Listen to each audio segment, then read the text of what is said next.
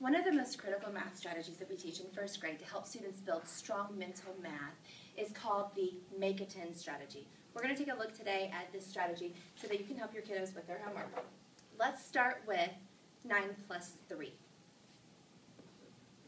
We want to give the children plenty of strategies and ways so that they can do these type of these types of math equations without using their fingers. So we would start by asking them to build their numbers. So in our first tens frame, we're going to build the number 9. Miss Gardner, if you're in the building, please buzz the office. Miss Gardner.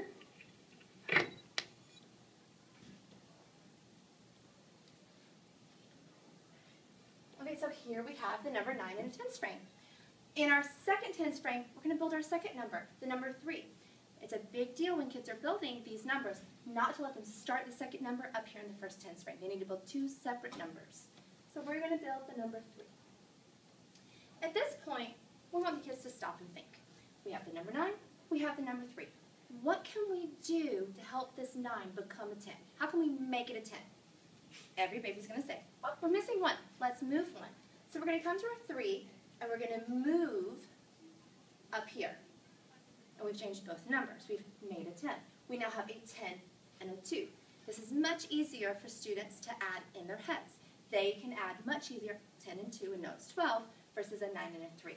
So we'll rewrite this. We now have a 10 and a 2. And they'll be able to add that easier in their head to know it is a 12.